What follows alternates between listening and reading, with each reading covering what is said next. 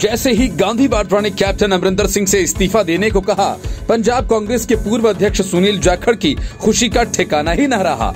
उन्होंने तुरंत ट्वीट किया और राहुल गांधी को बोल्ड फैसले के लिए बधाई दे डाली। मतलब साफ़ है। सुनील जाखड़ और राहुल गांधी के बीच खिचड़ी उसी दिन पक गई थी, जिस दिन दोनों की मुलाकात हुई थी, जिसके बाद सुनील जाखड़ ने अपने पद से इस्तीफा दे दिया था। संकेत साफ़ हैं। कैप्टन की जगह सुनील जाखड़ को पंजाब की कमान दी जा सकती है। इसके पीछे सियासत का वो समीकरण है जिसकी आड़ लेकर कैप्टन सिद्धू को प्रदेश अध्यक्ष नहीं बनने देना चाहते थे। वह समीकरण सिख और हिंदू कॉम्बिनेशन का है। जाखड़ के सीएम बनने से हिंदू भी खुश होंगे और कांग्रेस के साथ उठ खड़े होंगे। सिखों का मोर्चा सिद्धू फतेह करेंगे। लेकिन पंजाब के नए सीएम या यूँ कहिए नाइट वॉचमैन के कई दूसरे दावेदार भी हैं। लेकिन माना जा रहा है कि जाखड़ पंजाब सीएम के तौर पर सबसे ज़्यादा मज़बूत दावेदार हैं। सुनील जाखड़ ने शनिवार को ट्वीट किया और कहा कि वाह, राहुल गांधी, आपने बेहद उलझी हुई गुत्थी को पंजाबी संस्करण के समाधान का रास्ता निकाला है। आश्चर्यजनक ढंग से नेतृत्व के इस साहसिक फैसले ने न सिर्फ़ पंजाब कांग्रेस के झंझट को खत्म किया, बल्कि इसने कार्यकर्ताओं को मंत्रमुग्ध कर दिया।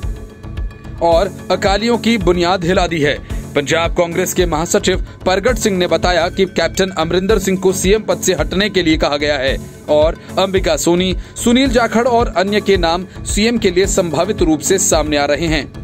उन्होंने कहा कि सीएलपी की बैठक बुलाई गई है। बैठक में इन मुद्दों पर चर्चा होगी।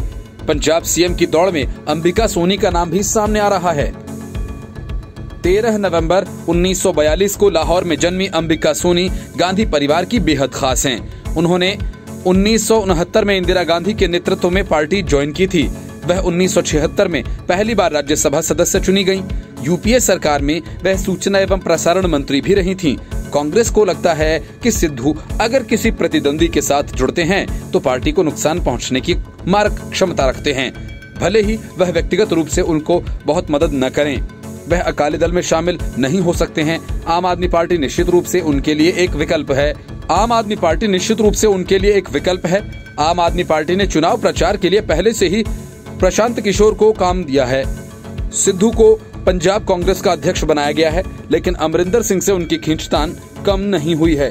कहा यह भी जा रहा है कि सिद्धू पंजाब का सीएम बनना चाहते हैं। उनकी वजह से ही पंजाब में ये विवाद पैदा हुआ। उन्हें सीएम बनाए जाने पर चर्चा हो सकती है। Report news of India